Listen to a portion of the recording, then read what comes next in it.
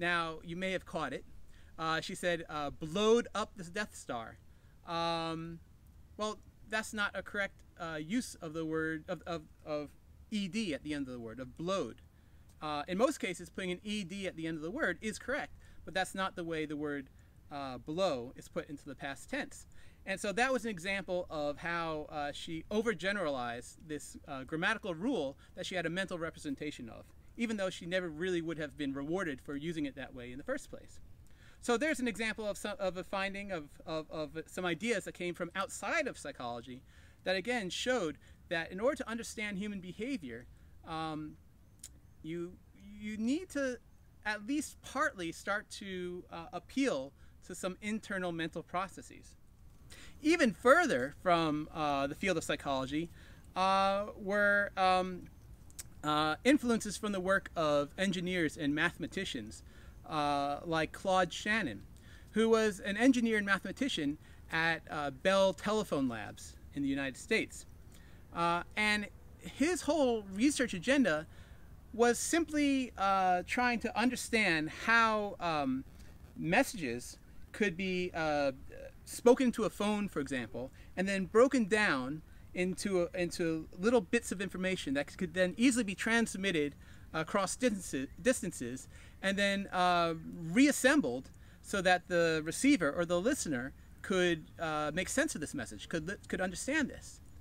Uh, and just this very idea that you could start trying to understand how information itself is processed through a series of steps uh, lent respectability to this idea that we can treat the mind the same way.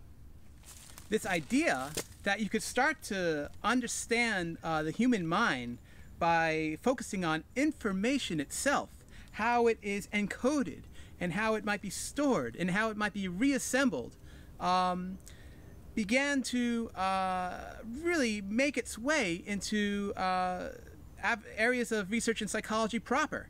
So, for example, um, George Miller was a famous cognitive psychologist who studied um, memory and tried to understand how we remember things as a function of how information is broken down and encoded and stored.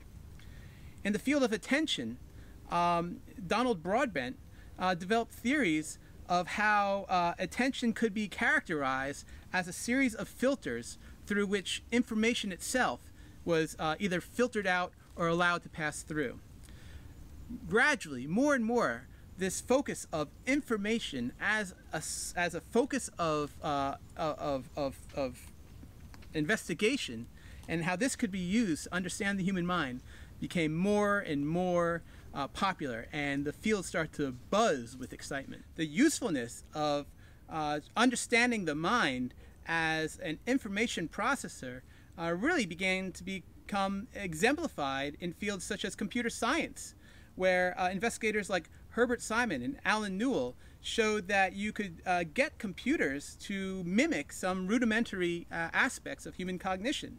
They programmed simple computers to prove theorems. They developed what they called a general problem solver uh, that could solve geometric theorems and arithmetic puzzles, arithmetic puzzles, and even play chess.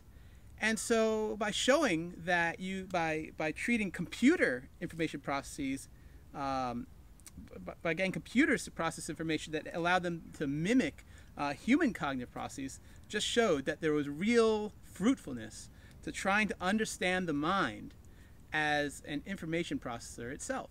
So ultimately, what you had in the 1950s and 60s was a convergence of findings uh, from psychology and linguistics, achievements in computer science, uh, research in anthropology and and neuroscience and insights from philosophy that all came together all around the same time and converged. And this is what led to this explosion uh, that's known as the cognitive revolution, a truly multiple, uh, a multidisciplinary field uh, that's sometimes referred to as cognitive science. Um, and, uh, and it was from there that um, this flourishing, that, that, that cognitive psychology came into its own uh, as a field of investigation. Before we wrap up with this lecture, I'd like to say a few words about the narrative of cognitive psychology as a field. That is, where it's come from and where it's going. There are a couple of different ways to look at this narrative. Um, the way that you'd probably see it written about the most often is kind of a very clean cut kind of narrative where everything fits together, but it's actually more of a caricature of the field. And the way this sort of clean, caricatured um, history of the field uh, goes is that the field of psychology became emerged into its own as a science around 1879 uh, when Wilhelm Wundt opened up the first lab dedicated to scientific psychology in, uh, at the University of Leipzig. Uh, Wundt did use introspectionism as one of his tools, but introspectionism was really popularized by students of his, such as Edward Titchener. But it was in the um, the wake of this popularity of introspectionism, which had really shonky scientific merit, that behaviorism emerged as a way to try to bring psychology into the fold of a truly objective, um, respectable science. However, as the story goes, um, this many would frame this as a dark time in the history of psychology, when mainstream psychologists lost touch with driving questions about how the mind works. It was only in the 1950s and the 1960s that a plucky bunch of cognitively minded uh, upstarts uh, banded together and giving forth, giving rise to what we now call the cognitive revolution. That's the standard narrative. However, the true story, I'd argue, is quite so clean cut. Things don't fit together quite as smoothly, and I would actually uh, suggest that cognitive, the cognitive revolution, as we call it, is better understood as a cognitive evolution. Because it turns out that there were people studying questions about cognitive processes not only before the dawn of what we now call the cognitive revolution, but before the dawn of where of what we of people of what people generally regard as the uh, the starting point of scientific psychology. For example, in the 1800s, uh, you had people like Fechner and Donders and uh, and Helmholtz trying to understand um, how the mind makes sense of perceptual information around the world. Even earlier than that, uh, you had uh, Al Haytham, uh, an Arabic scholar who tried to understand um, how perception worked, making reference to mental processes along the way. So, the, the, the cognitive revolution didn't happen out of nowhere. Another part of the standard story is that during the reign of behaviorism, uh, questions of cognitive processes were taboo and were not explored. But that's not also quite true. You had people like uh, Piaget trying to understand cognitive development in children. You had over in England Frederick Bartlett uh, trying to understand uh, mental processes that shape uh, how we remember things. Um, you had uh, Jerome Bruner at Harvard, a social psychologist, who uh, tried to understand how children think. Um, and in Russia, Lev Vygotsky, another developmentalist, who tried to understand the nature of the relationship between language and thought. Clearly, these are very cognitive questions, and they were occurring during the reign of behaviorism when many textbooks would say that these questions weren't being broached at all. It's also notable that many of these people who I just mentioned uh, were uh, older white men. Uh, so there was a lack of diversity in the field, that's for sure. Uh, but uh, I'm very happy to say that the field these days has gotten a lot more uh, diverse. For example, women in cognitive science have been responsible for some of the most important and foundational findings in, co in cognitive psychology uh, over the last uh, several decades, and they have assumed some of the most important leadership positions in the field and started some of the most important initiatives that have shaped the field as we know it today. Another uh, aspect of the standard narrative of uh, cognitive psychology uh, that, that doesn't quite ring true is that the cognitive revolution occurred and replaced behaviorism. But in truth, behaviorism hasn't really gone away. Uh, for example, there's still uh, the Journal of Experimental Analysis of Behavior, which is a thriving journal. You have the International Association uh, for Behavior Analysis, uh, which has over 7,000 members worldwide. Uh, here in Australia, we have the Australian uh, Learning Group, another uh, group of researchers uh, heavily inspired by the advances made by the early behaviorists. In many respects, I'd say that cognitive psychology didn't actually replace behaviorism, but it evolved from behaviorism. It uh, started to use the, the kinds of objective measures of behavior, uh, things like response times and accuracy on task performance that could be objectively measured, to uh, draw conclusions and make inferences about what kinds of things were going on in the mind. So, in respect, uh, in, in, in, in, many respects, uh, the way we go about um, uh, pursuing or running cognitive psychology experiments today owes much to the early behaviorists. So we come back to the question of what is cognitive psychology? If you take a look at a textbook, uh, it's easy to get the impression that cognitive, cognitive psychology is defined by the topics uh, that it covers. So, for example, in uh, most textbooks, including probably the one that you own, uh, there are chapters on memory, attention, decision making, uh, language, reasoning, and on and onwards. Uh, but if you think about it, none of these topics is purely a cognitive topic. We make decisions about the social world. We uh, have memories about our um, about the people around us. So these questions, these topics are of interest to social psychology as well, as they are for clinical psychologists. So I'd say that when it comes down to it, what really defines, what really characterizes cognitive psychology as a field unto itself is its emphasis on how the mind processes information.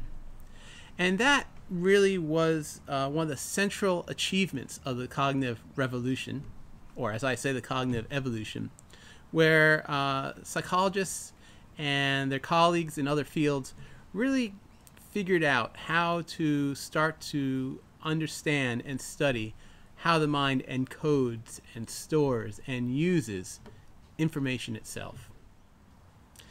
There's also another interesting twist uh, to the story of cognitive psychology.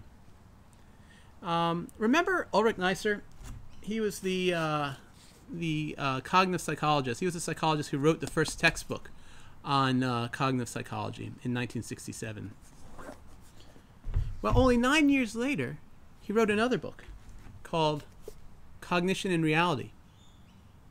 And in this book, he actually, and in some ways, bemoaned the uh, the state of uh, the, of the field of cognitive psychology, a field that he had helped establish. And the reason he wasn't quite so happy with where cognitive psychology was at the time, this was back in 1976, um, was because he felt that in their enthusiasm to just make little tweaks and try to understand mental processes, cognitive processes, as they worked in the lab, many cognitive psychologists had lost touch with uh, trying to understand the relevance of these processes uh, to how cognition operated in the real world. Again, cognition and reality. Well, I think he had a big, a very strong point there. And I'm happy to say that cognitive psychology has come a long way. Um, so, for example, if you take a look at um, uh, articles uh, and books published today, you not only get um, studies just looking at how mental processes and cognitive processes work in and of themselves, but you get um, you get researchers trying to uh, understand how these uh, mental and cognitive processes uh, help us understand the way people uh, deal with climate change and make decisions about uh, the environment, uh, or how misinformation spreads uh, on social media, or how radiologists and medical technicians can perform better when they're looking at medical slides and trying to make a diagnosis that's going to be critical for your health. Um, meanwhile, there's also intersections um, that have been established between cognitive psychology and clinical psychology so that we can better understand uh, how information processing differs in um, people who suffer from uh, depression and anxiety. So, although in 1976, um, was concerned that um, cognitive psychology had lost touch with its implications in the real world. Uh, today, I'd say that uh, it very much um, makes connection with the real world. Many of the things that we study in cognitive psychology today uh, have direct relevance on things like how we uh, remember events, which is important, for example, in eyewitness testimony. Uh, they bear directly on safety in the real world. When, for example, as we try to understand, or as we understand more and more, how attention shapes perception and how that might uh, dictate or might guide uh, or determine uh, whether or not we'll see pedestrians who might walk in front of us as we're driving. And the more we understand memory, uh, the better um, advice that we can give to students who are trying to study better for their exams. Even beyond that, uh, if you think about things that might not seem like they fall under cognitive psychology um, at first glance, um, things like, you know, why don't people get along, or why do people perceive you know, treat people of other races or other ethnicities as um, uh, treat them more poorly than they treat members of their own in group. Um, the space between us, the space between you and me and everyone around us, is filled with our cognitions about who we are, the assumptions we make about other people, and this guides our real world behavior. So, in many respects, cognitive psychology, more and more, uh, can help us understand and maybe help us shape a better world uh, for the future. And um, I hope at the end of these series of lectures, uh, you are as excited about cognitive psychology as I am. Uh, and uh, I hope that you may even be inspired, uh, become another, to join the story as the field moves forward.